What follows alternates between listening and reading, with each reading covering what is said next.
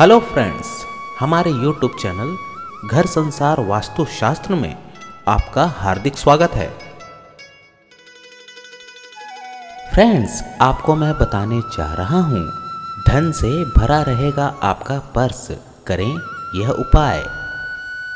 इस जानकारी को बताने से पहले यह मैं आपको बता दूँ, हमारे यूट्यूब चैनल घर संसार वास्तुशास्त्र को आपने सब्सक्राइब नहीं किया हो तो प्लीज़ सब्सक्राइब कर लें, क्योंकि हम इसी चैनल के माध्यम से वास्तुशास्त्र से संबंधित वो सारी जानकारियाँ लेकर आएँगे, जिन्हें आप अपनाएँगे तो आपके घर संसार में सुख समृद्धि आएगी।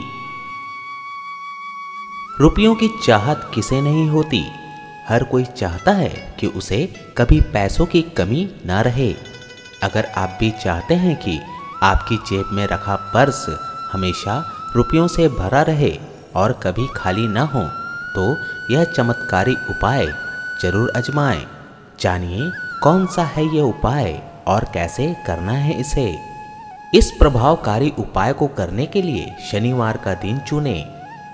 शनिवार के दिन किसी पीपल के पेड़ के पास जाकर एक पत्ता तोड़कर घर लाएँ। अब इस पीपल के पत्ते को गंगा जल से धोकर उसके ऊपर हल्दी के घोल से दाएँ हाथ की अनामिका उंगली से हिंग लिखें।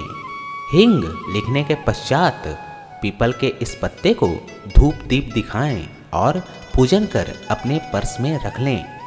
इस पत्ते को सप्ताह भर अपनी जेब में रखें और अगले शनिवार दूसरा पत्ता तोड़कर लाएँ और यही क्रम दोहराएँ। हर शनिवार इस क्रम को दोहराएँ और नया पत्ता अपने पर्स में रख लें। पुराने पत्ते को जेब से निकालकर किसी पवित्र स्थान पर रख दें या फिर बहते पानी में प्रवाहित कर दें। इस बात का विशेष ध्यान रखें कि पुराने पत्ते को किसी अशुद्ध स्थान पर बिल्कुल ना रखें, ना ही कचरे में फेंकें। कुछ समय तक लगातार इस प्रयोग को करते रहने से आपको इसका असर महसूस होने लगेगा।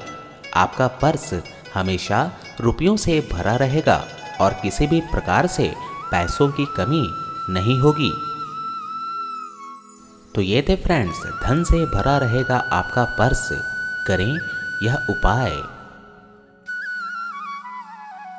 फ्रेंड्स ये वीडियो आपको पसंद आया हो तो प्लीज़ लाइक और शेयर करना ना भूलें।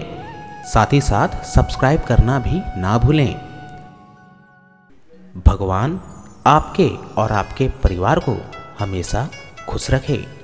धन्यवाद।